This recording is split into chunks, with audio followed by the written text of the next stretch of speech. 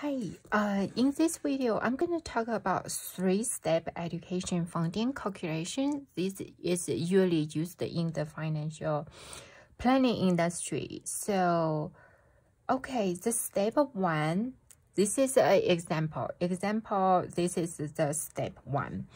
Alice and Brian uh, have a three-year-old daughter, Addy. Assume, hope you can see it here. Assume that one year college tuition is $10,000 today. Education inflation is 6%. How much will they need for Addy's freshman tuition in 15 years from today? Assume Eddie go to college uh, at the age of 18.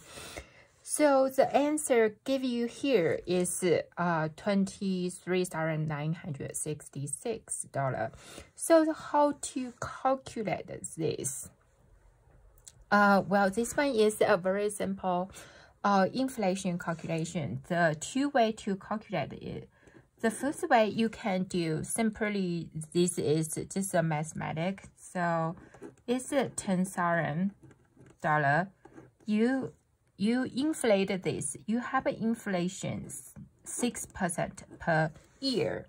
So for 15 years, so you compounding this. So this is give you give you this answer. I have to use this calculator. So basically, you can calculate this one first, 1.06 to the 15.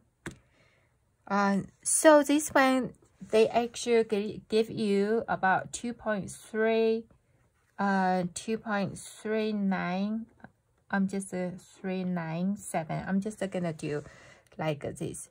So this basically give you say if the inflation uh is six percent per year then you compounding every year for 15 years that will be 2.37 uh, 397. What, what does this mean? This means the tuition will increase this times two times. Two is about 2.3 times.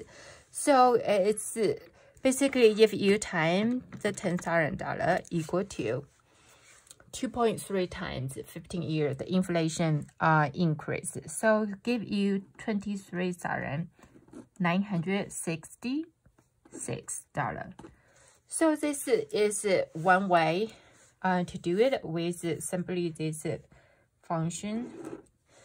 So the second way, you can use a financial calculator. So it's uh, so basically say they want to know the tuition today is future uh, present value is today is ten thousand dollar, right? So the inflation, they will inflate at this rate 6% a year.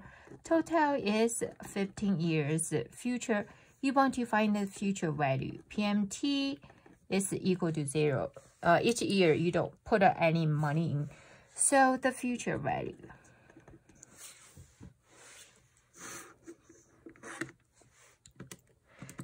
So it's 10,000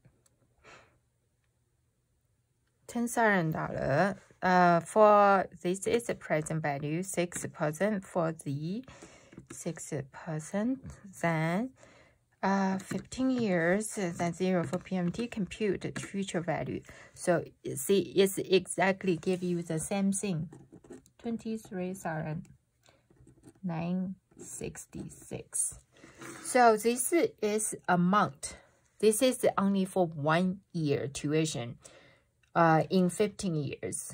In 15 years, the freshman year, one